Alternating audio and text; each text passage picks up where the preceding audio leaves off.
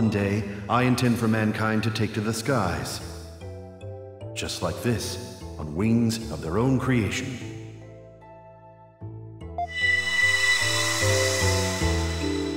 Hold on.